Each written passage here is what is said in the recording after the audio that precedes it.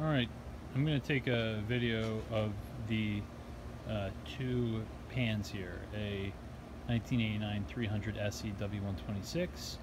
This came out of a modified 1990 560 SEL where someone had put in a W140 glass sunroof option roof.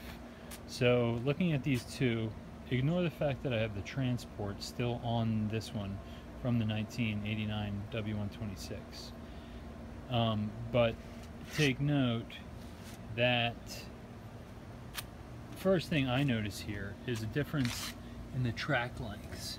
So notice this one here, but notice this one here is a longer track before it gets into this wide section here.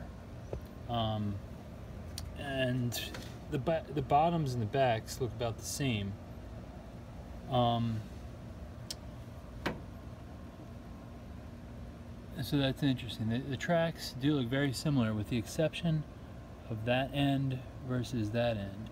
Now this one is actually cut in a little bit. Um, and then these uh, these tracks on the outside for the I guess the tilt they look pretty much the same.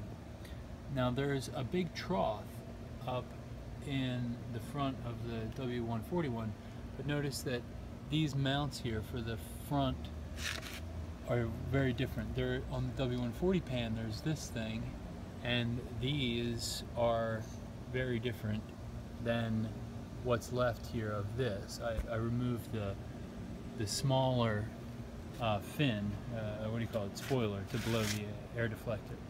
Um, but they're pretty different. Um,